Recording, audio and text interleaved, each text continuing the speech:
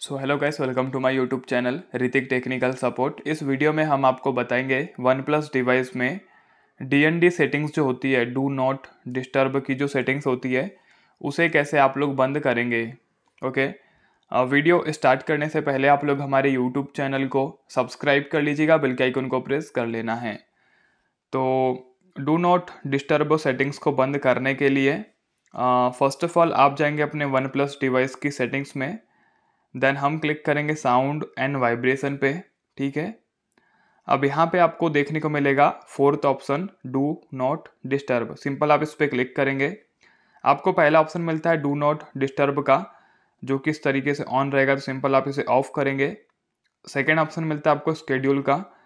तो अगर आप लोगों ने स्केड्यूल लगाया होगा तो आप स्केड्यूल को इस तरीके से अनटिक कर दीजिएगा तो आपका स्केड्यूल भी बंद हो जाएगा। और यहाँ पे जो भी ऑप्शन है, जो कि ऐप्स आप लोगों ने सेलेक्ट किया है पीपल सेलेक्ट किया है रिंग रिपीटेड कॉल्स वगैरह सिंपल आप अनटिक करेंगे तो ये सब सेटअप पूरा बंद हो जाएगा। ठीक है? तो सिंपल आप इस तरीके से डी एन डी सेटिंग्स को बंद कर सकते हैं।